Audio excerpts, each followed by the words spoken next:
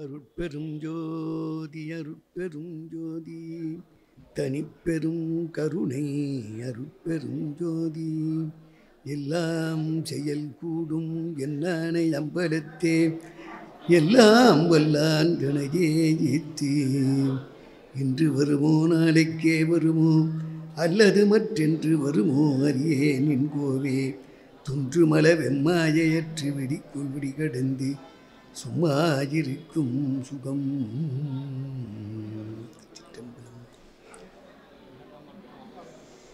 சன்மார்க்க பெரியோர்களே காஞ்சிபுரத்திலிருந்து மாதந்தோறும் வந்து சிறப்புரை நிகழ்த்தி வருகின்ற சிறப்பான முறையிலே இங்கும் நாளூரிலும் வள்ளலார் வாழ்வியல் வளாகம் என்ற ஒரு அமைப்பை உருவாக்கி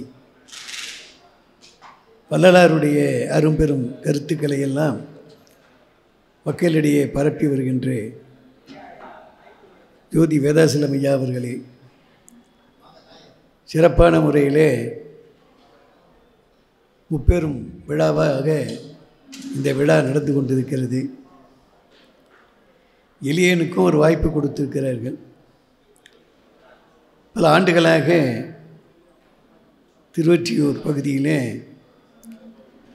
வல்லல் பெருமான் ஒளி செய்த திருவொற்றியூர் திருப்பதிகங்களை பற்றி ஒவ்வொரு மாதமும் முதல் ஞாயிறன்று பேசினேன். ஆனால் இப்பொழுது இடமாற்றம் உடல்நிலை போக்குவரத்து இதனால் எதுவும் செய்ய முடியல. நாமெல்லாம் சூழ்நிலை கைதியாக இருக்கோம். குறிப்பிட்ட இடத்துக்கு குறிப்பிட்ட நேரத்துக்கு வர முடியல. அத்தகைய ஒரு சூழலிலே நீண்ட இடைவெளிக்கு பின்னால் சன்மார்க்க அன்பர்களை தரிசிக்கின்ற ஒரு பெரும் பேறு அடியனுக்கு இன்று கிடைத்திருக்கிறது.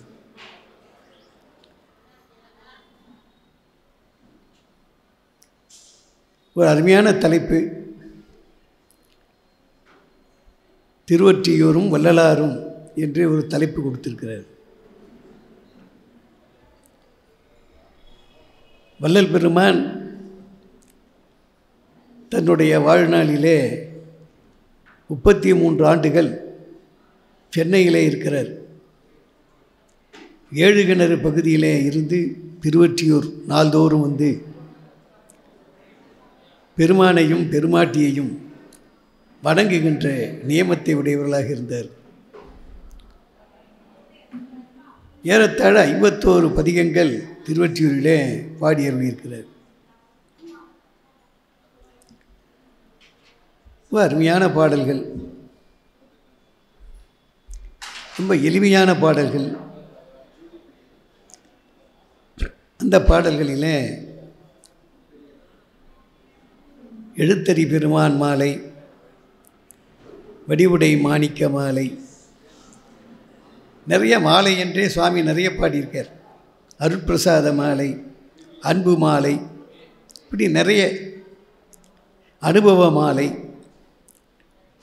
இறைவனுக்கு மாலை அணிவித்து மகிழ்வதிலே வள்ளலாருக்கு ஒரு பெரிய இன்பம்.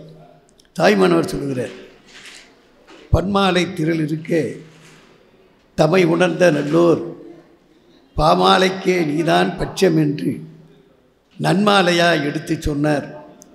அதை உணர்ந்து நானும் சொன்னேன் என்று குறிப்பிடுகிறார். பூமாலையை விட பாமாலை சிறந்தது.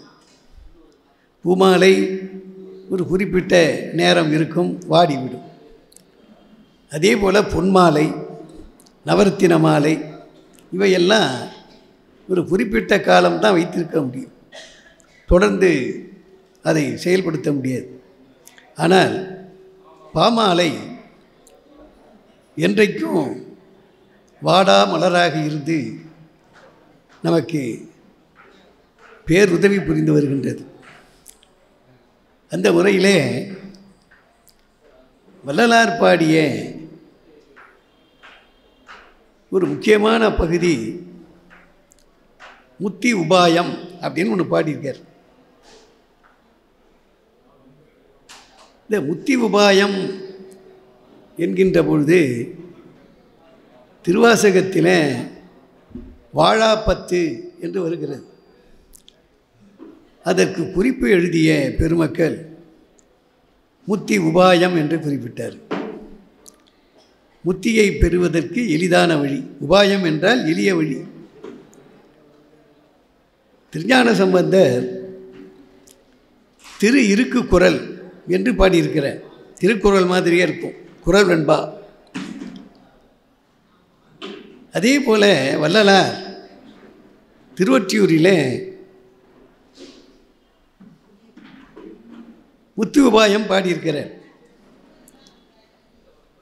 கல்லா நெஞ்சில் நில்லான் ஈசன் சொல்லாரோடு அல்லோம் யாமே என்பது திருஞான சம்பந்தருடைய வாக்கு. சித்தம் தெளிவீர்கள். அத்தன் ஆரூரை பத்தி மலர் தூவ முத்தி எளிதாமே என்று ஞானசம்பந்தர் பாடியிருக்கார். அதற்கு திரு இருக்கு குரல்னு பேர். வேதங்களிலே ரொம்ப பழமையானது ரிக்வேதம் என்று சொல்வார் சுவாமிக்கு ரிக்வேத பாராயணம் செய்வார்கள். காஞ்சி மகா பெரியவர்கள் சொன்னார் வடமொழி தெரியாதவர்கள் திருஞான சம்பந்தர் பாடிய திரு இருக்கு குரலை பாராயணம் செய்தாலே ரிக்வேதம் பாராயணம் செய்த பயன் கிடைக்கும் என்று சுவாமிகள் குறிப்பிட்டார். அதே போன்று திருவற்றியூரிலே முத்தி உபாயம் என்ற தலைப்பிலே வல்லலார் திரு இருக்கு குரல் மாதிரியே பாடியிருக்கார். இது ஒரு தனி சிறப்பு என்னென்னா அந்தாதி தொடையில் பாடியிருக்கார். திருஞான சம்பந்தர் அந்தாதி தொடையில் பாடலை. ஆனால் வள்ளலார் அந்தாதி தொடையில் பாடியிருக்கார். இறைவனை மறந்து வாழ முடியாது. இறைவனை மறந்து வாழ்வது என்பது உயிரை விடுவதற்கு சமம் என்று அருளாளர்கள் பாடினார். தினைத்தனை பொழுதும் மறந்து உய்வனோ என்று அப்பர் சுவாமிகள் பாடியிருக்கிறார் அதே போன்று திருவாசகத்திலே வாழாப்பத்தில் வள்ளலாருக்கு வாழாப்பத்தில் ரொம்ப ஈடுபாடு அதிகம். ஒவ்வொரு பாடலிலும் வாழ்கிலேன் கண்டாய் வருகை என்று அருள் புரியாயே என்று பாடு ஒவ்வொரு பாடலையும் சொல்கிறேன்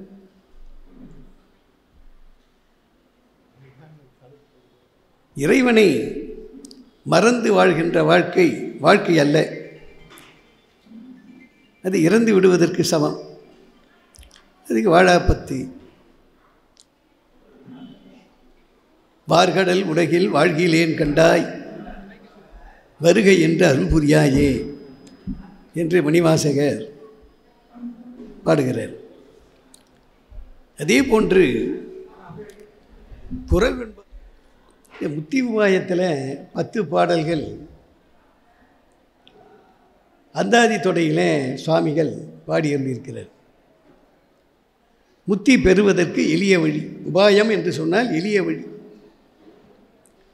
மனிதன் முத்தி பெறுவதற்காக தான் மனிதனாக பிறந்திருக்கிறான். முத்தி பெறுதல் என்று சொன்னால் பிறப்பு இறப்பிலிருந்து நீங்குவது.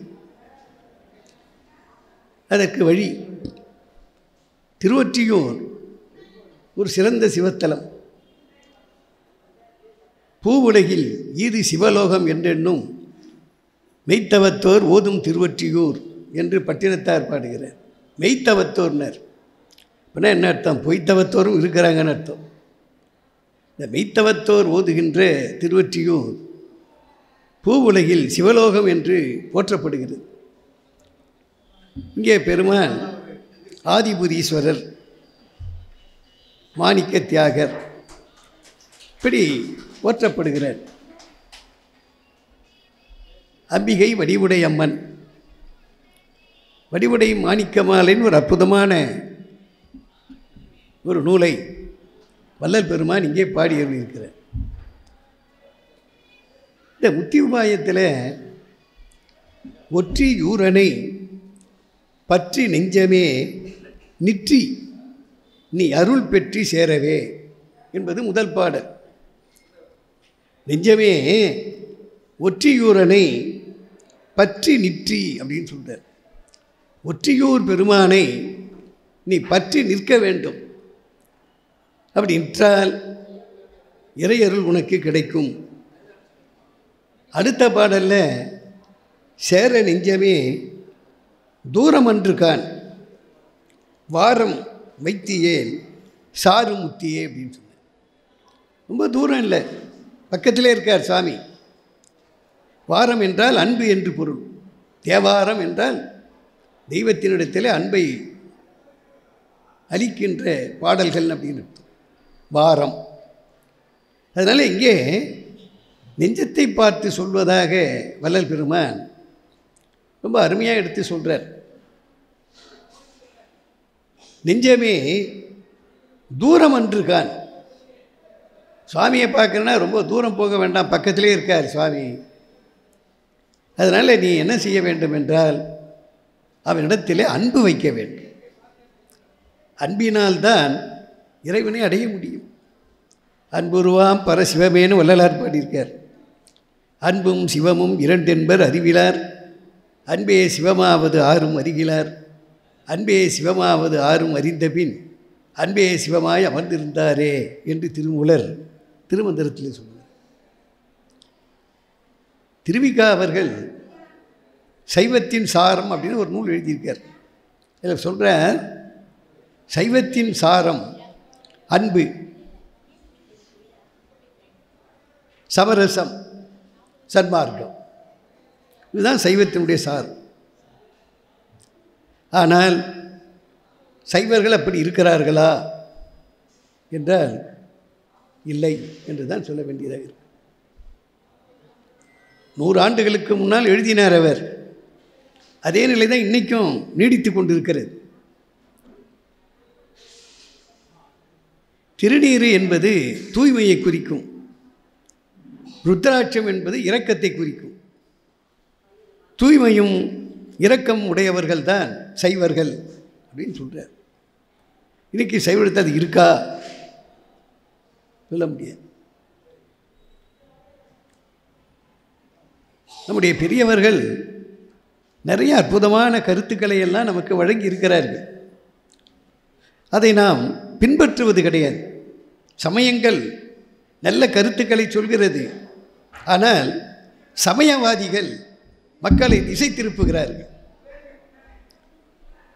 சமயவாதிகள் தத்தம் மதங்களே அரற்றி அமைவதாக அரற்றி மலைந்தனர் என்று திருவாசகத்திலே மணிவாசக சொல்கிறார். சமயவாதிகளால் தான் சண்டையே தவிர சமயத்தினால் சண்டை கிடையாது. சமயம் பக்குவப்படுத்துவது. சமைத்தல் என்று சொன்னால் பக்குவப்படுத்துதல் என்று அதனால் சமயங்கள் அனைத்தும் மக்களை பக்குவப்படுத்துவதற்காகவே இறைவனுடைய திருவருளினாலே அந்தந்த காலத்தில் அந்தந்த பெரியவர்களை கொண்டு இறைவனே அதை அமைத்தான். அதனால் அன்பு வைக்க வேண்டும். அடுத்த மூன்றாவது பாடலில் சொல்கிறேன் முத்தி வேண்டுமேல் பத்தி வேண்டுமால் சத்தியம் இது புத்தி நெஞ்சமே என்று சொல்கிறார் நெஞ்சுக்கு புத்தி சொல்கிறார் ரொம்ப அருமையாக சொல்கிறார் உனக்கு முத்தி வேண்டும் என்று சொன்னால் நீ பக்தி உடையவனாக இருக்க வேண்டும். பக்தி இருந்தால் முக்தி கிடைக்கும். இது சத்தியம். வள்ளலார் அடிக்கடி சத்தியம் என்றார். இல்லையா? சத்தியம் சொல்கின்றேன் என்று ஞானசதியில் சொல்கிறார் மக்களிடத்தில் பல கருத்துக்கள் பதிய வேண்டும். மக்கள் மேல்நிலை பெற வேண்டும் என்பது வள்ளல் பெருமானுடைய ஒரு பெரிய கருணை. அதனால் பல வகையான கருத்துக்களை எல்லாம் நமக்கு இந்த முத்தி உபாயம் என்ற பகுதியில் இந்த குரல் வெண்பாவிலே பல கருத்துக்களை சொல்கிறார். ஐயா அவர்கள் கூட மகாதேவ மாலை வெளியிடுகின்ற போது இதை சேர்த்து வெளியிட்டார். இந்த காலத்தில் மகாதேவ மாலை முத முதல் வெளியிட்டவர் ஐயா அவர்கள் தான். அதிலே தெய்வமணி மாலையும் முத்தி உபாயமும் இடம்பெற்றிருக்கிறது ரொம்ப பழமையான நூல். அதனால் ஒவ்வொரு பாடலிலும் பல்வேறு வகையான கருத்துக்கள். ஏழாவது பாடலில் சொல்லுகிறார் நோய்கள் கொண்டிடும் பேய்கள் பற்பலர். தூய்தல் ஒற்றியூர்க்கு எய்தவில்லையே அப்படின்னு சொன்னார் பல வகையான நோய்கள். நீங்கள் நோய் இல்லாத மனிதனே பார்க்க முடியல. நம்முடைய வாழ்க்கை உணவு பழக்க வழக்கங்கள் எல்லாமே நோயை உற்பத்தி பண்ணுறதா உண்ணுகின்ற உணவு எதுவும் சரி கிடையாது. சுவாசிக்கின்ற காற்று பருகுகின்ற நீர் எல்லாமே தூய்மை இல்லை. அசுத்தங்களுக்கு நடுவில் நம்ம வாழ்ந்து கொண்டிருக்கிறோம். அதனுடைய விளைவு பற்பல வகையான நோய்கள். இந்த நோய்கள் எல்லாம் நம்மை செல்லரித்தது போல மனிதர்களை ஆக்கிரமித்து கொண்டிருக்கிறது. அதனால் நோய்கள் கொண்டிடும் பேய்கள் அப்படின்னு சொல்கிறார் இல்லை நோய்களை கொண்டிருக்கின்ற மக்களை பேய்கள். பேய்கள் எப்படி இங்கும் அங்கும் திரிகிறதோ அதுபோன்று நோய்வாய்ப்பட்ட மனிதன். பல்வேறு இடங்களை நாடி ஓடி தேடி நோயிலிருந்து விடுபடுவதற்கு பல்வேறு முயற்சிகளை மேற்கொள்கிறார். இப்படி ஒவ்வொரு பாடலிலும் அன்பர்கள் தயவு செய்து இந்த திருவொற்றியூர் பதிகத்தில் முத்தி உபாயம் என்கின்ற பத்து பாடல்களை படிக்க வேண்டும் என்று உங்களை பணிவோடு வேண்டி கேட்டுக்கொள்கிறேன். ரொம்ப எளிய பாடல்கள். இல்லை இல்லை இல்லை கான் ஒல்லை ஒற்றியூர். எல்லை சேரவே அல்லல் என்பதே என்ன? ஒற்றியூரைச் சேர்ந்தால் அல்லல் என்பது இல்லை என்றார். அதுவும் ரெண்டு தடவை இல்லை இல்லைன்னு சொல்கிறார் திருவொற்றியூரை நீங்கள் சார்ந்திருந்தால் தொல்லை கிடையாது. இந்த எல்லைக்கு வந்தாலே எதுவும் வராது. அப்படிப்பட்ட ஒரு புண்ணியமான திருத்தலம். இப்படி பல கருத்துக்களை எல்லாம் நமக்கு எடுத்து சொல்கின்றார். அடுத்து அவலத்து அவுங்கள் அப்படின்ற ஒரு தலைப்பில் இந்த திருவாசகத்தினுடைய சாரமாகவே திருப்பா விளங்குவதை நாம் அனுபவத்திலே பார்க்கலாம். ஆறாவது பாடலில் சொல்கிறேன் விரும்பிலேன் திருமாலயன் பதவி வேண்டிக்கொள் என விளம்பினும் கொள்ளேன். மறுப்பின் மாவுரியாய் உன்ற நடியார் மதிக்கும் வாழ்வையே மனங்கொண்டு நின்றேன். உருப்படாத இவ்வென்னென இனியும் உள்ளம் எப்படி அப்படி அறியேன். திருப்புயாசல மன்னர் மாதவத்தோர் திகழும் ஒற்றியூர் தியாகமாமணியே என்று அவலம் என்றால் துன்பம். துன்பத்திலே நாம் சிக்குண்டு கிடக்கிறோம். அந்த துன்பத்திலிருந்து விடுபடுவதற்கு இறைவனை நாம் நாட வேண்டும். அதனாலே இறைவனிடத்தில் அவர் சொல்கிறார் திருமால் அயன் பதவி. இன்றைக்கு மக்களிலே பதவி சண்டை அதிகமாக பணச்சண்டை சொத்து தகராறு இப்படி நிறைய. பதவியிலே பெரிய பதவி திருமால் அயன் பிரம்மா விஷ்ணு. இப்படிப்பட்ட பதவி. அவர்களும் உயிர் வர்க்கம்தான். எல்லாமே உயிர் வர்க்கம். சைவ சித்தாந்தம் சொல்வது.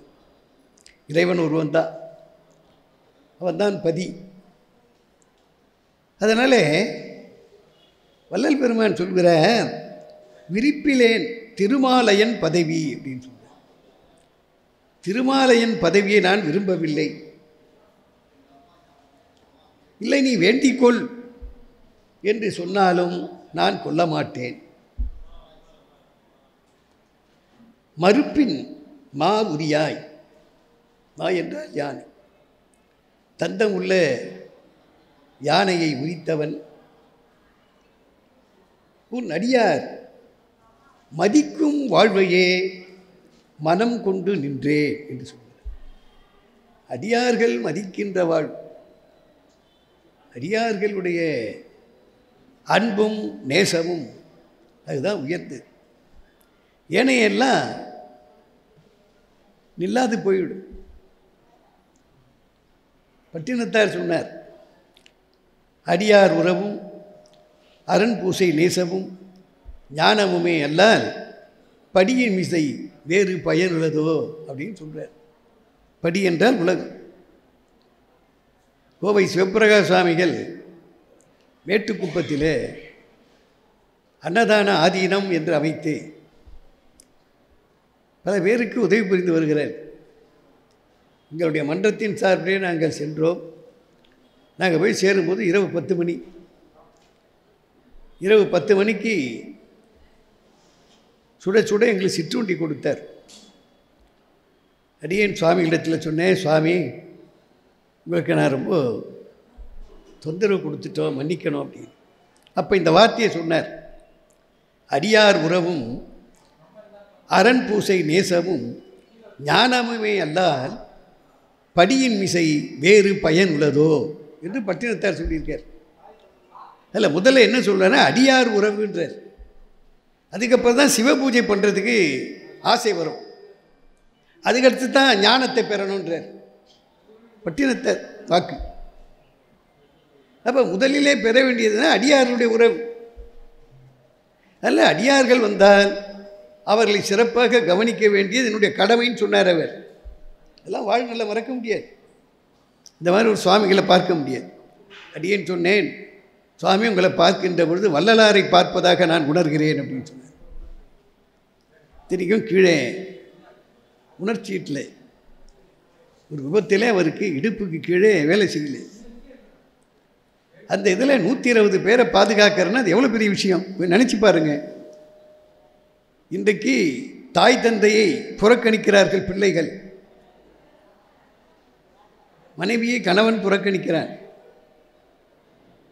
பேப்பரில் பார்க்கணும் நிறைய. ஆனால் ஆதரவற்ற முதியோர்களையும் குழந்தைகளையும் மனநிலை பாதித்தவர்களையும் அவர்கள் காப்பாற்றி வருகின்ற ஒரு பெருமை நினைந்திருந்து உருக வேண்டியதாக இருக்கிறது. அரசாங்கம் கூட அந்த மாதிரி செய்யாது. அவர் அந்த வாழடி வாழையில் ஒரு விளம்பரம் கொடுக்குற வாழ முடியவில்லை. எங்களுக்கு ஆதரவில்லை என்று சொன்னால் இந்த ஆதீனத்துக்கு வாருங்கள். உங்களை நான் வாழ வைக்கிறேன். உங்களுக்கு வேலை தருகிறேன். சாப்பாடு போடுகிறேன். இந்த காலத்தில் யார் சொல்லுவாங்க இந்த காலத்தில்? யாராவது சொல்லுவாங்களா? வீட்டில் சொந்தக்காரனே சொல்ல மாட்டான் பிள்ளையே சொல்ல மாட்டான். தாய் தகப்பண்ணவனுக்கு சோறு போடுறேன். இல்லையா? எவ்வளோ பெரிய மனநிலைங்க. இப்படி வாழ்க்கை வரலாறு எழுதின்னு வர்றாரு அதில். சில இடங்கள்லாம் கண்ணீர் வருது அதெல்லாம் படிக்கும்போது. காந்தியடிகள் சத்திய சோதனைன்னு எழுதினார். அதையே மிஞ்சி போகுது அது இவர் எழுதுறது. அவர் இடத்துல சொன்னேன் சுவாமி நீங்கள் எழுதுகிற வாழ்க்கை வரலாறு ரொம்ப சிறப்பாக இருக்கிறது. காந்தி அண்ணலுடைய சத்திய சோதனை மிஞ்சி விடுகிற போல் இருக்குன்னு. அப்போ ஒரு வார்த்தை சொன்னார் வாழ்க்கை வரலாறு என்பது உண்மையைத்தான் எழுத வேண்டும். பொய் எழுதக்கூடாது. இப்படி நடமாடும் தெய்வமாக பலர் இருக்கிறார்கள். அவர்கள் தங்களை வெளிக்காட்டிக் கொள்வதில்லை. இப்படி பலர் இருப்பதினால்தான் உலகம் இருக்கிறது. இல்லாமனா உலகம் இருக்காது. பண்புடையார் பற்றுண்டு உலகம் என்று வள்ளுவர் சொல்கிறார். ஐயா அவர்கள் வள்ளுவர் காட்டும் வாழ்வியல்னு ஒன்று எழுதின்னு வரார் தொடர்ந்து. உச்சூடரில் ரொம்ப அருமையாக சுருக்கமாக நல்ல அழகான கருத்துக்கள். நான் படிக்கணும். ரொம்ப அருமையாக எழுதுகிறார் ரொம்ப சுருக்கமாக ஒவ்வொரு அதிகாரத்தையும் ரொம்ப அருமையாக எழுதுகிறார் திருக்குறளை இல்லாதது எதுவுமே கிடையாது. எல்லாமே திருக்குறள் இருக்கு அதனால் இந்த பதவியெல்லாம் பெரியவர்கள் விரும்ப மாட்டாங்க. அடியார் உறவைத்தான் விரும்புவார்கள். அதனாலே அடியார் மதிக்கும் வாழ்வையே மனங்கொடு நின்றேன் என்று வள்ளல் பெருமான் சொல்லுகிறார். இந்த வார்த்தை அப்படியே திருவாசகத்தில் மணிவாசகம் சொல்லுகிறார்.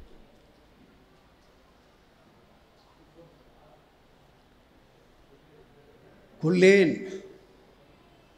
மாலையன் வாழ்வு அப்படின்னு நரகம் புகினும் இல்லேன்.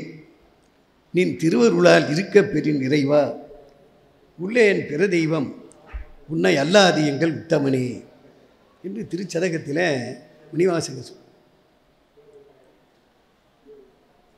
ரொம்ப அருமையான கருத்தை எல்லாம் ரொம்ப அருமையாக எடுத்து சொல்லுகிறார்.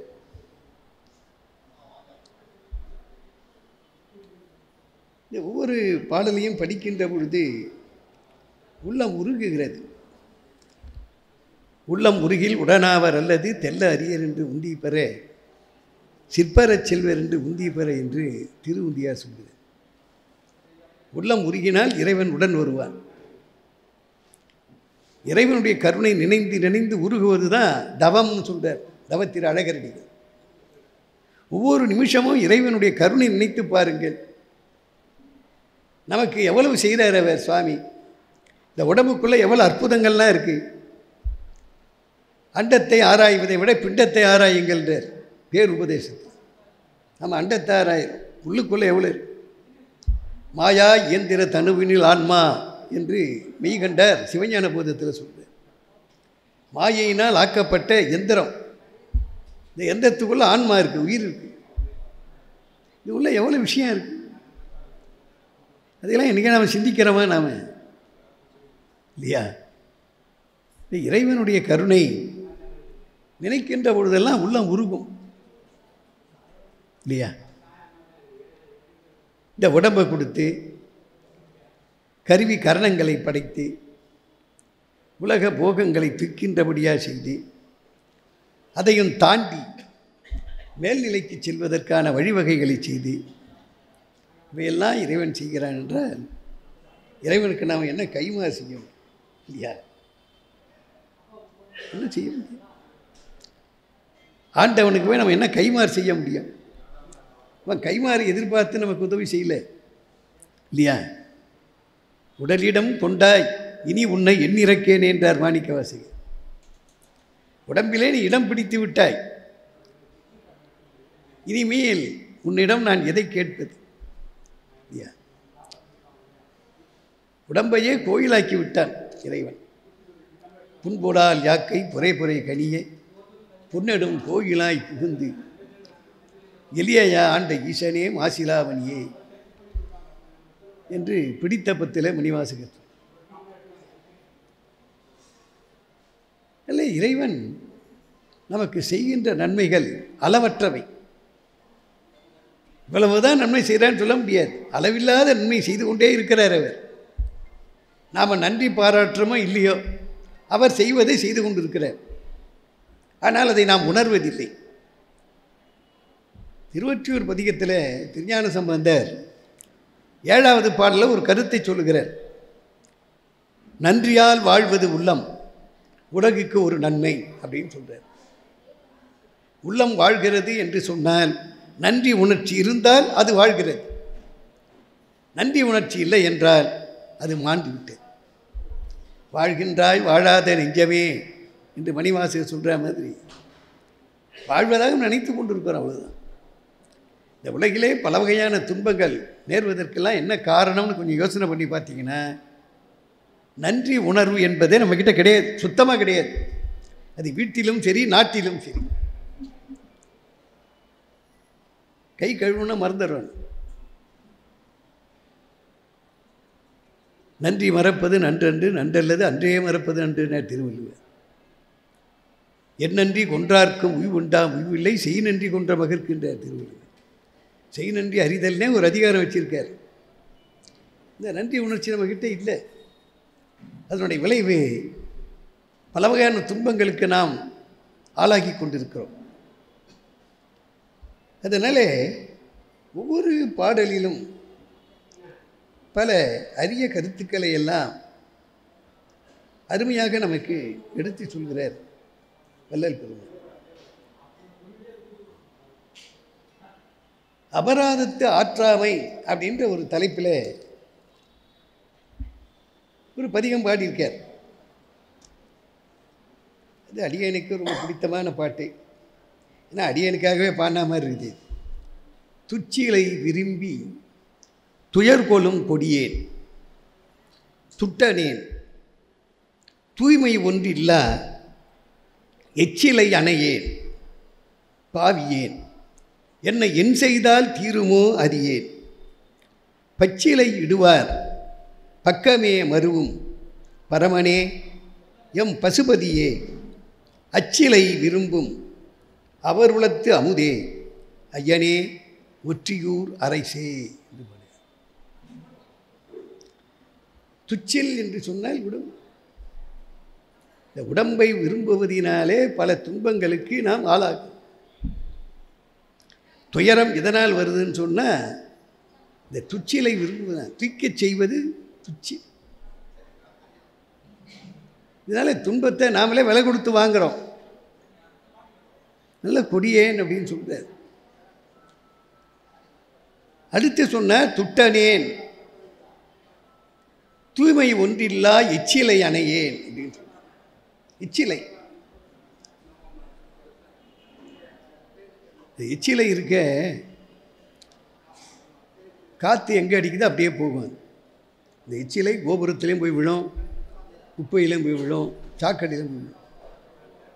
ராமகிருஷ்ண பரமச்சர் சொல்வார் எச்சிலை போன்று நீ இருக்க வேண்டும் அப்படின்னு சொல்கிறார் தனக்கென்று எந்த பாவமும் கிடையாது. ரமண மகரிஷிகள் ஒரு உதாரணம் சொல்கிறார் இந்த உடம்பு வாழை இலை போன்றது அப்படின்றார். வாழை இலை சாப்பாட்டுக்கு உதவுகிறது. சாப்பிட்ட பிற்பாடு இந்த வாழை இலை யாரும் பத்திரப்படுத்துறது கிடையாது. தூக்கி போட்டு அதனால் உடம்பினுடைய பயனை பெற்ற பிற்பாடு இந்த உடம்பை ஞானிகள் விரும்புவதில்லை. வாழை இலை போன்றது இந்த உடம்பு என்று ரமண மகிழ்ச்சிகள் இடத்தில் சொல்கிறார் அதனாலே எச்சிலை அணையேன் பாவியேன். என்னை என் செய்தால் தீருமோ அறியேன் என்ன என்ன செய்வது? பச்சிலை இடுவார். பக்கமே மருவும் பரவனே அப்படின்னு இறைவன் பச்சிலை இட்டாலே அவர்கள் பக்கம் கருணை புரிகிறான். யாவர்க்குமாம் இறைவர்க்கொரு பச்சிலை என்று திருமூலர் சொல்கிறார். இறைவனுக்கு பெரிய மலர் மாலை போடணும்னு கேட்கல அவர். ஒரு பச்சிலை. இந்த பச்சிலை இடுவார் பக்கமே மருவும் அப்படின்னு சொல்கிறார் பச்சிலை இடுகின்றவர்களுடைய பக்கமே விரும்பி சேர்கின்ற பரவனே எம் பசுபதியே அச்சிலை விரும்பும் அவருளத்து அமுதே ஐயனே ஒற்றியூர் அரைசே என்று இப்படி இந்த அபராதம் என்றால் தவறு. தான் செய்த தவறுகளை எண்ணி எண்ணி மனம் கசிகிறார் வல்லல அவர் தவறு செய்யவில்லை. நமக்காக பாடுகிறார். அருளாளர்கள் மற்றவர்கள் செய்கின்ற தவறுகளை தாம் செய்வதாக இறைவனிடத்தில் முறையிடுவது அவர்களுடைய கருணையின் பயன். அந்த முறையிலே அவர் பல நிலைகளிலே நமக்கு எடுத்து சொல்லுகிறார். இப்படி ஒவ்வொரு பாடலிலும் அவர்களுடைய கருத்துக்கள் அதிலும் திருவொற்றியூரில் அவர்கள் பாடிய அந்த பாடல்கள் ரொம்ப அருமையான பாடல்கள். எழுத்தறி பெருமான் மாலை என்று முப்பத்தோரு பாடல்கள் சாமிகள் பாடியிருக்காங்க. இங்கே இருக்கின்ற பெருமானுக்கு எழுத்தறி பெருமான் ஒரு பெயர் உண்டு. அதில் ரெண்டாவது பாடலில் தன்னை எந்த அளவுக்கு தாழ்த்தி கொள்ள முடியும் தாழ்த்திக்கிறது மத்தனை வன் நெஞ்சகனை வஞ்சகனை பித்தனை வீணால் போக்கும் பேயேனை நாயேனை முத்தனையாய் உந்தன் முளரித்தாட்கு ஆளாக்க எத்தனை நாள் செல்லும் எழுத்தறியும் பெருமானி. ஒவ்வொரு நாள் போயிட்டே இருக்கும் காலையில் சூரியன் உதிக்கிறான் மாலையில் வரைகிறான். ஒரு நாள் போயிடும் அதை பற்றி நாம் நினைப்பதில்லை. வள்ளலாரே சொல்கிறார் ஓடுகின்றனன் கதிரவன் அவன் பின் ஓடுகின்றன ஒவ்வொரு நாளாய். வீடுகின்றன என் செய்வோம். வெய்ய கூற்றுவன் வெகுண்டுடில் என்றே வாடுகின்றன. அஞ்சலை நெஞ்சே மார்க்கண்டேயதம் அன்பறிந்திலையோ. நாடுகின்றவர் நாதன் தன் நாமம். நமச்சிவாயம் கா நாம் பெரும் துணை. நற்றுணை விளக்கம் என்ற தலைப்பிலே சுவாமிகள் பாடியிருக்கிறார். இல்லையா? ஒவ்வொரு நாள் போ ஞாலத்தை மெய்யனவே நம்பி நம்பி எந்த காலத்தை போக்கி என்ன கண்டேன் பராபரம் என்ற தாய்மனவர் காலத்தை அவமே போக்கி கொண்டிருக்கிறோம். மறுபடியும் அந்த காலம் வராது. டைம் இஸ் கோல்டு அப்படின்னு சொன்னாங்க.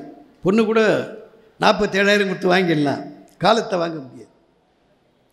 இந்த காலத்தை நாம் நன்கு பயன்படுத்திக் கொள்ள வேண்டும். காலம் உண்டாகவே காதல் செய்து உய்மின் அப்படின்னு சொல்கிறார் மாணிக்கவாசகர். காலம் இறைவன் கொடுத்த ஒரு பெரிய கருவி. அந்த காலத்தை நாம் நன்றாக பயன்படுத்திக் கொள்ள வேண்டும்.